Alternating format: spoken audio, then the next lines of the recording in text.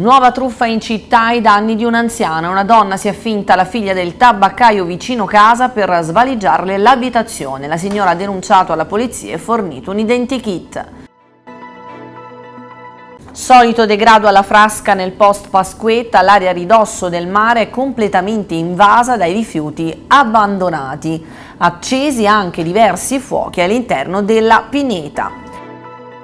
Sembrava risolta la questione sugli spazi acqua al Palagalli tra NC e Centuncelle dopo l'incontro con il delegato allo sport Iacomelli. La tregua pasquale scricchiola, ha fissato un nuovo appuntamento il 20 aprile. Presentazione questa mattina per il nuovo Palio Marinaro in programma il 22 e il 23 aprile, oltre alle classiche gare di canottaggio previsti tanti eventi collaterali tra i quali il torneo di calcio Balilla. Vittoria in pieno recupero per il Civitavecchia, i nerazzurri espugnano il campo del Falas Chelavinio per 1-0, Vittorini tiene in corsa l'11 di Caputo nella lotta promozione.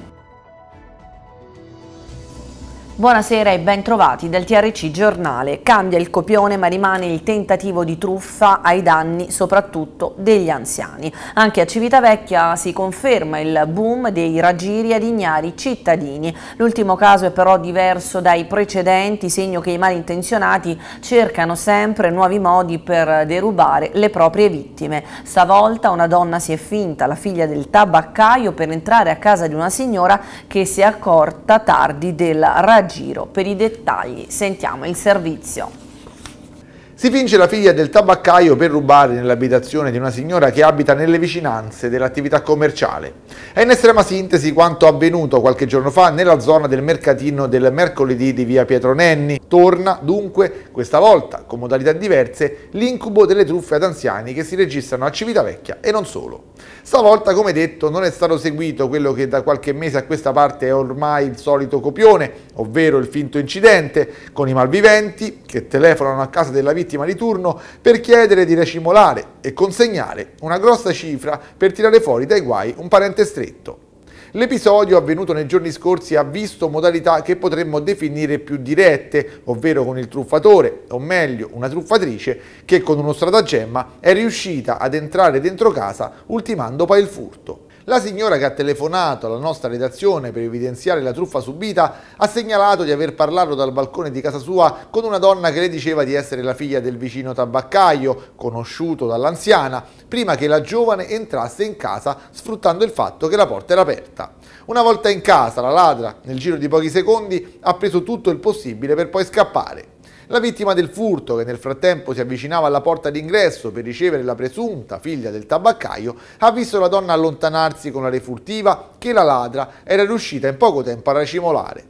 Una volta accortasi del raggiro, la signora ha immediatamente effettuato la denuncia alla polizia, alla quale ha fornito una descrizione precisa, un vero identikit della malvivente, si tratta di una signora alta 1,60 m, dai capelli lunghi e biondi, con un cappello in testa, pantaloni neri e scarponcini di camoscio di colore avana.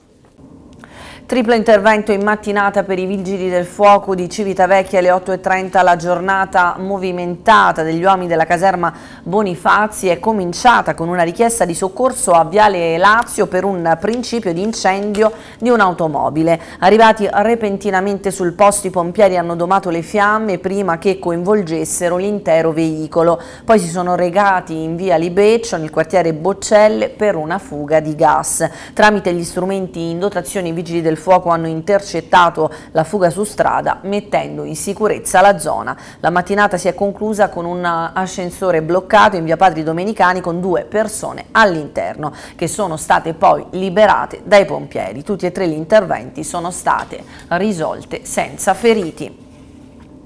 Solito triste risveglio per la Frasca, a due giorni dalla Pasquetta l'area ridosso del mare frequentata dai civitavecchiesi resta invasa dai rifiuti di ogni genere abbandonati dai soliti incivili che hanno scelto di effettuare lì la scampagnata. Qualcuno li ha raccolti in sacchi di indifferenziata che però non ha conferito all'interno dei pochi cassonetti lasciati nella zona dalla Seport, ma ha lasciato incustoditi nella pineta, alla mercé di animali che li hanno nuovamente svuotati. Non solo, qualcuno, nonostante il divieto e il fatto che siano state rimosse da mesi le aree barbecue, ha pensato bene di accendere fuochi a terra all'interno della pineta, con tutti i rischi del caso, considerato anche il forte vento di lunedì e dei giorni successivi. I particolari nel servizio. Il solito risveglio della Frasca a pochi giorni dalla Pasquetta con tanti cittadini, soprattutto ragazzi che hanno deciso di scegliere uno dei posti più belli per trascorrere il lunedì di festa eh, che segue appunto la Pasqua, una distesa di rifiuti alle nostre spalle all'interno della pineta con eh, tantissima immondizia sparsa sul terreno della pineta, in particolare sono rifiuti legati ai cibi che sono stati consumati nel giorno di Pasquetta, abbiamo i bicchieri, bicchieri, i piatti di plastica, abbiamo le confezioni che contenevano la carne, abbiamo bottiglie di plastica, bottiglie in vetro sia del vino che eh, della birra, insomma un'infinità di rifiuti che sono stati abbandonati eh, alla frasca e che il vento sta continuando a spingere, a sparpagliare per tutta l'area. In alcuni casi i rifiuti sono stati anche raccolti, messi in alcuni sacchi, come quello che vedete alle mie spalle attaccato a quell'albero in fondo, altri sono stati lasciati sotto eh, appunto le piante ma non sono stati portati via quindi non sono stati eh, non è stato compiuto l'ultimo atto diciamo utile al non essere incivili ovvero a portare via i rifiuti e portarli a casa o meglio c'è anche un secchione a 20 metri da noi che poteva essere tranquillamente utilizzato per gettare l'immondizia indifferenziata che era stata raccolta a un passo però ci siamo fermati eh, con gli animali che poi hanno nuovamente rotto le buste e sparpagliato nuovamente l'immondizia in giro ed il vento che ha fatto il resto.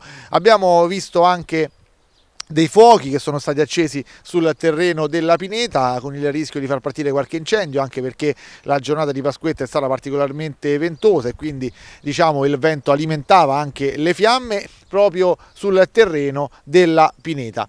E insomma siamo nuovamente qui dopo anni che segnaliamo questa problematica, eccoci qua con la solita distesa di rifiuti lasciata purtroppo dagli incivili in uno dei posti più belli di Civitavecchia, ovvero la Frasca.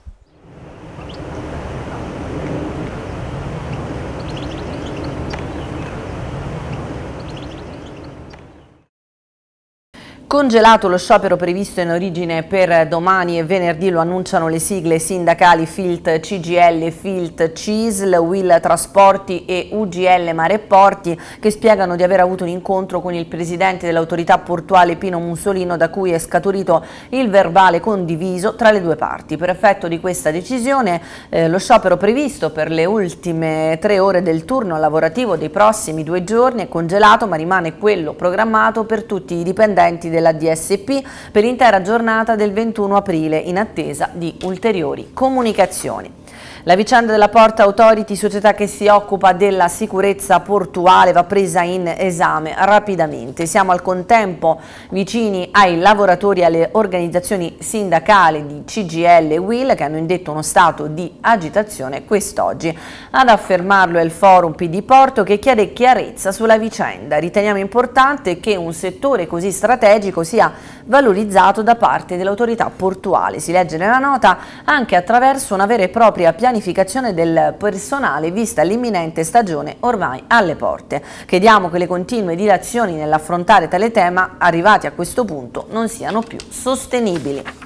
E più che una fumata bianca è stata una fumata grigia, non si è ancora risolta la situazione relativa agli spazi acqua al Palagalli che nelle scorse settimane hanno visto la forte polemica tra NC e Centuncelle. Sarà necessaria una nuova riunione al Comune per poter fare in modo che la tregua pasquale che ha congelato la situazione possa terminare da un momento all'altro. Ascoltiamo il servizio. La fumata bianca evidentemente bianca non era era quantomeno grigia. Dopo le rassicurazioni arrivate al termine della riunione di venerdì scorso a Palazzo del Pincio sulla situazione degli spazi acqua al Palagalli, le acque dell'impianto di Viale Lazio tornano a farsi agitate. Il delegato allo sport Matteo Iacomelli aveva dichiarato che era stato trovato un punto d'accordo tra NC Civitavecchia e Centuncelle dopo le forti polemiche dei giorni precedenti, scatenate dalla decisione del club rosso-celeste che gestisce l'impianto di non permettere ai biancorossi di allenarsi allo stadio del nuoto per via di due fatture non saldate. Ma stando a diverse indiscrezioni giunte da chi ha preso parte all'incontro, la questione sarebbe tutt'altro che risolta. Quella in corso è soltanto una tregua, in attesa del nuovo incontro, ci si augura risolutore, fissato per il prossimo 20 aprile. Da quanto emerso in modo informale sul contenuto della riunione di venerdì scorso, sembrerebbe che la Centuncelle sia stata invitata a saldare una delle due fatture rimaste in sospeso l'altra è congelata fino al prossimo incontro, per vedersi riaprire le porte del Palagalli, al fine di tornare ad effettuare gli allenamenti in vista dello scontro diretto per il primo posto del campionato di Serie C contro la Sis Roma in programma sabato prossimo. Restano però da chiarire tutte le questioni che avevano portato la società del presidente Jonathan Civero a sospendere alcuni pagamenti e a richiedere un accesso agli atti per verificare le tariffe degli spazi acqua per allenamenti e partite previste nella convenzione tra NC Civitavecchia e Palazzo del Pincio. In un documento reperito sul sito del comune di Civitavecchia, il club biancorosso ha letto che gli spazi acqua per disputare le gare giocate in campionati nazionali proprio come la C e l'Under 20 maschili a cui partecipano i ragazzi della Centuncelle, dovrebbero essere concesse gratuitamente, quando invece vengono fatti pagare. La tregua pasquale, insomma, scricchiola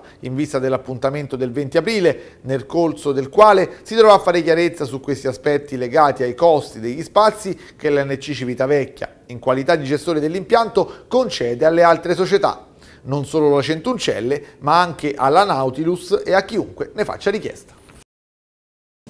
La conferma del successo per i ristoranti cittadini per le giornate di Pasqua e Pasquetta arriva dal presidente locale di Confcommercio Graziano Luciani. L'itolare era pieno, spiega Luciani, e sono state superate tutte le previsioni. Specialmente i ristoranti hanno fatto registrare un più 15% rispetto al 2022 ed un più 9% rispetto al 2019 pre-Covid. L'unico neo è che la città era piena di turisti e quasi la totalità degli esercizi erano chiusi chiusi. Invito quindi i commercianti, in modo speciale quelli del centro, a stare aperti per non perdere queste grandi opportunità di incasso. E l'assessore ai servizi sociali Cinzia Napoli comunica che è online l'avviso pubblico per la concessione dei, dei, contributi integrativi per il pagamento dei canoni di locazione. Il sostegno alle famiglie in difficoltà è un aspetto del nostro impegno che ci guida alla bella politica, dichiara l'assessore Napoli nello spirito di servizio che fa di un'amministrazione pubblica il cuore della coesione sociale. Per la presentazione della domanda è necessario essere in possesso dello SPID o CE può essere inoltrata da parte di un solo componente dello stesso nucleo familiare. Può essere compilata esclusivamente online fino alle ore 12 dell'11 maggio. Tutte le informazioni nell'articolo su www.trcgiornale.it e si è svolta questa mattina alla Fondazione Cariciv la conferenza stampa di presentazione del Palio Marinaro, tradizionale evento organizzato dall'Associazione Mare Nostrum 2000 che si terrà il 22 e il 23 aprile all'interno dei festeggiamenti di Santa Fermina. Come sempre, oltre alle classiche gare di canottaggio, con la sfida tra i leoni storici e il Palio Marinario dei Tre Porti, saranno tantissimi gli eventi collaterali come la pagaiata dimostrativa con le donne donne del Dragon Boat, la gara per gli equipaggi integrativi e il torneo di calcio balilla. Le interviste. Sandro Calderai, appuntamento insomma, speciale quello del Paglio Mariano come tutti gli anni. Novità di quest'anno Malta o c'è anche altro? Ah, c'è anche altro. Abbiamo invitato e, accettato un equipaggio della Repubblica di Malta della città di Sigegui che eh, diciamo, ci ha dato anche modo di organizzare un'accoglienza che eh, va oltre il gesto sportivo in acqua. Perché tu sai che le, sono molto importanti le testimonianze passate dell'Ordine Cavalieri di Malta a Civitavecchia. E noi abbiamo collaborato con la Perlogo alla presentazione del libro di Giovanni Solera sulla vita di Terenzio Collemodi e eh, il 21 eh, faremo proprio una conferenza alla presenza dell'equipaggio maltese presso il Forte Michelangelo alle 17.30 proprio sulle testimonianze dell'Ordine Cavalieri di Malta a, Civecchia.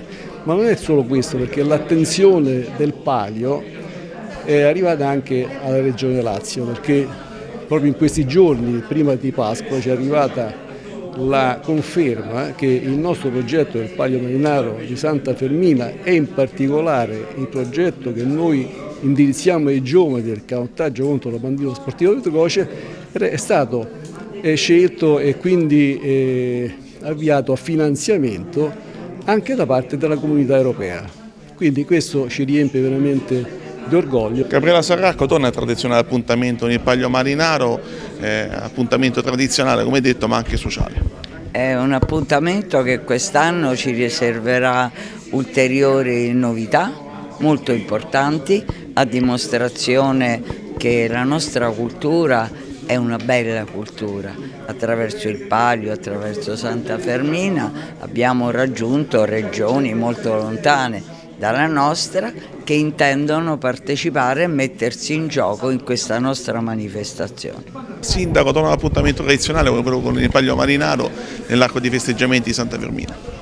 Meno male, meno male perché conserviamo questa tradizione, grazie al Presidente Calderai e lo ringrazio pubblicamente, a tutti coloro che collaborano in questo meccanismo che sicuramente non è facile, che riprende a pieno titolo, con maggior vigore, anche da un punto di vista qualitativo, un, ci sarà un fattore internazionale che eh, non guasta sicuramente per rendere questa tradizione che è peculiare della nostra città sempre più viva, sempre più visibile sempre più importante.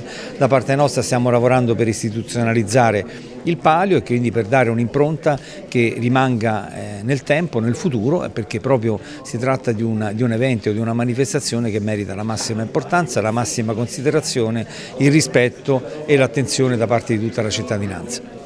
Seconda edizione per Civitavecchia Spring Music Festival, tre appuntamenti tra aprile e maggio alla Cittadella della Musica che trovano un naturale, una naturale collocazione nella sala Ennio Morricone a cura del comune ATCL in collaborazione con Promu. Ad aprire la rassegna venerdì prossimo ore 21 uno dei più famosi pianisti jazz italiani Danilo Rea, reduce dell'esibizione al Festival di Sanremo con Gino Paoli. Danilo Reo si Rea scusate, si esibirà in piano solo accompagnando il pubblico in un viaggio nella musica jazz alla musica pop ripercorrendo i grandi successi italiani ed internazionali musicali degli anni 70 ad oggi, inesauribile fonte di ispirazione interpretativa e compositiva per l'intramontabile pianista.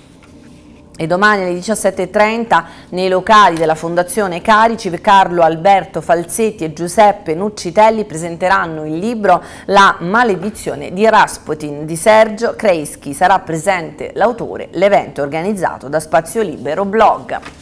E termina qui la prima parte del nostro telegiornale, ma restate con noi perché a breve, dopo un piccolo break pubblicitario, torneremo con le notizie sportive. A tra poco.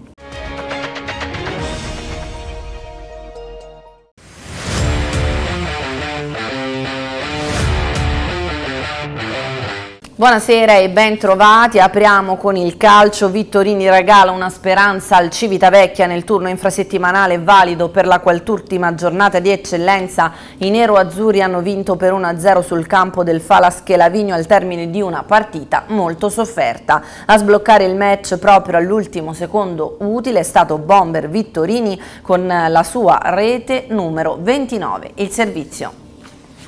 Soffertissima ma fondamentale vittoria per il Civitavecchia. I nerazzurri nel turno infrasettimanale del campionato di eccellenza hanno superato per 1-0 il Falasche Lavigno, alimentando la speranza di poter arrivare al primo o secondo posto della classifica.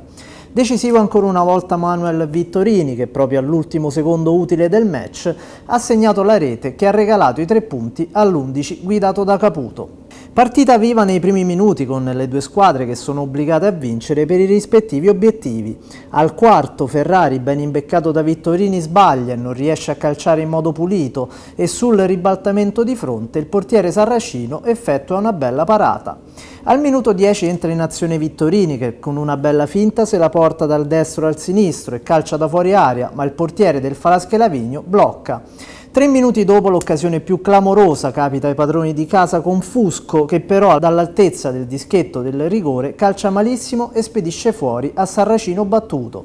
La partita prosegue senza grandi emozioni fino al termine del primo tempo. Nella ripresa poche le emozioni con le due squadre molto imprecise che piano piano si sono fatte anche prendere dal nervosismo vista l'alta posta in palio.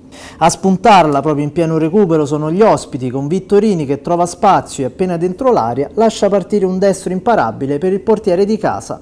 Esplode di gioia la panchina nerazzurra che dimostra di credere ancora nella possibilità di risalire la classifica. Il Civitavecchia vince e porta a casa tre punti importanti ma anche la Boreale fa lo stesso battendo per 1-0 il Fiano Romano. I punti di distacco tra i nerazzurri e i romani rimangono 5, mentre l'Anzio è al momento a più 3 sui civitavecchiesi, ma dovrà giocare domani sul campo della Faul Cimini. Ricomincia con un match di recupero il campionato di C-Gold per la Stemar 90 cestistica. Domani alle 20.45 palla a 2 al Palla Riccucci per l'incontro con la Carver, la, le, resi, le, residue speranze dei playoff per la squadra di Gabriela Rosa distante 10 punti dall'ultimo posto utile a 6 partite dal termine, potrebbero spegnersi definitivamente in caso di sconfitta per la situazione scontri diretti peggiori con Frassati alla quale basta un successo successo nelle prossime 5 gare per far fuori Campogiani e compagni, quindi un'occasione per rilanciare quantomeno il finale di campionato nel quale i rossoneri vogliono togliersi delle soddisfazioni. E si è conclusa con un quinto posto la bellissima esperienza, quella rappresentativa Lazio al trofeo delle regioni con tre giovanissimi talenti della Nautilus, Lucrezia Puppi, Alessia Comodi Ballanti e Alessandra Pirone. Il Lazio ha ottenuto la quinta piazza battendo la Lombardia una posizione notevolissima su 11 squadre partecipanti divise in tre gironi, posizione che le atlete verde-azzurre verde hanno contribuito a raggiungere lavorando bene con la squadra, andando a segno senza paure attraverso il loro apporto tecnico e tattico. Il record sui 100 metri stile libero di Lorenzo Ballarati ha trovato grande cassa di risonanza anche al di fuori di Civitavecchia. Nei giorni scorsi anche la Gazzetta dello Sport ha dato molto al tritone della Cosa Raniene e al suo allenatore Fabio De Santis. In un articolo nel noto giornalista Stefano Arcobelli si è parlato molto del successo di Ballarati che ha infranto il record precedente appartenuto a Thomas Ceccon e di coach De Santis, nominato anche come scopritore di Damiano Lestingi, un nome che non ha bisogno di presentazioni e che ha fatto la storia storia del nuoto italiano. E tanta Civitavecchia alla Sparta Cup di Igualada vicino Barcellona. Diversi infatti sono stati i giocatori della CV Skating che hanno partecipato a quello che è il torneo giovanile più grande d'Europa. C'è stata presenza di giocatori nostrani praticamente in ogni categoria e tutti si sono estremamente ben distinti, guadagnando i complimenti degli allenatori, giocatori e addetti ai lavori presenti. E si sono conclusi con molti sorrisi per la Lega Navali i giochi internazionali giovanili FUA campione sul lago di Garda. È stato il primo evento internazionale dove la formazione civitavecchiese quasi al completo che si è confrontata con gli altri giovani avversari internazionali. I ragazzi sono stati seguiti dal coach Daniele Guzzone ed Emanuele Arciprete. È stata una settimana intensa che ben quattro velisti locali che si sono qualificati per la finale. Davide Terzaroli Elisa Del Duca, Alice Evangelisti e Vittoria Marconi. A mettere in tasca il risultato più importante è stato Del Luca che si è classificato che si è classificata quarta, ma gli appuntamenti non sono certo finiti, infatti la Lega Navale è impegnata anche nell'Europo Tecno 293 al Circolo Surf Torbole, dove parteciperanno i piccoli atleti targati LNI. E con questo è tutto, termina qui questa edizione del nostro telegiornale, ma mm, prima di salutarvi vi ricordiamo di seguirci anche sui nostri canali social, Facebook, YouTube ed Instagram, oltre che sul nostro sito www.trcgiornale.it. Grazie dell'ascolto, auguro a tutti un buon proseguimento di serata.